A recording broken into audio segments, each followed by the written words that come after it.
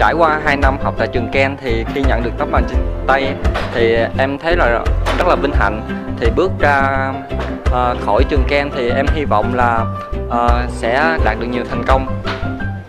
Uh, khi học tại trường uh, thì là em được sự chỉ bảo tận tình của thầy cô cũng như là các anh chị ở các phòng ban đã hỗ trợ em uh, đạt được cái kết quả như ngày hôm nay.